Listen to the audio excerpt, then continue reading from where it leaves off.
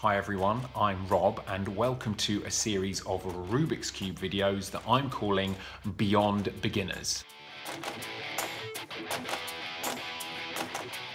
Now, this is not about speed cubing. If you're into that, this is going to be way too basic for you. Instead, it's for a particular niche of person who's just learned the basic method. That, of course, is solving the white cross, solving the white face, solving the middle layer, then solving the yellow cross, solving the yellow face, and finally permuting the last layer so it's solved. And all I want to do is show you a few extra algorithms that make you a little bit more efficient. So in this video, I'm going to show you a technique to solve the middle layer a little quicker.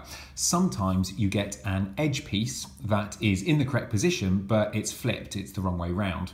The beginner's method will ask you to perform the same algorithm twice, once to move the piece out of the way and then the same algorithm again to move it back into place the right way round. I'll just show you that now, but maybe we'll speed up the, uh, the solve. But it goes something like this.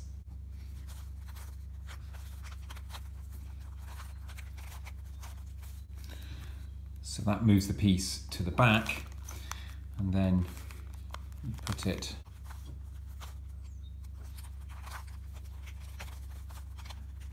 in position. So as I say, that's quite inefficient and there is a quicker way. Here's the algorithm.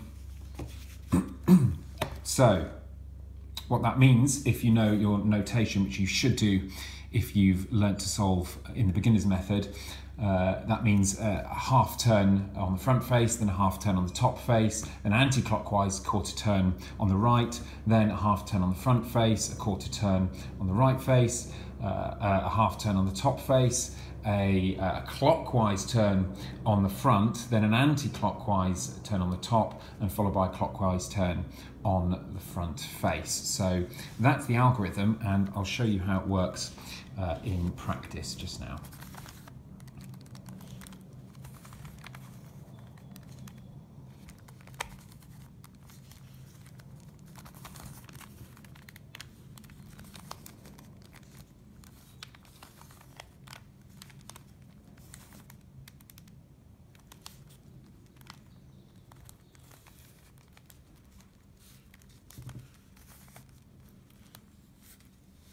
And there you have it, a quicker solve of an edge piece.